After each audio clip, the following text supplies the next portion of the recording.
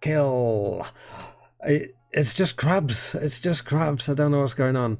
There's, I can't read the names. There's just too many crabs. But basically, in the Crab Royale, um, it'll probably end soon. Oh, I can see a crab's been exploded. I think a crab killed it.